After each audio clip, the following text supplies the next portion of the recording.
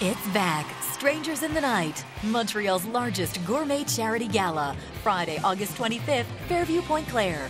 Delicacies from more than 85 Montreal gourmet restaurants. Non-stop party music.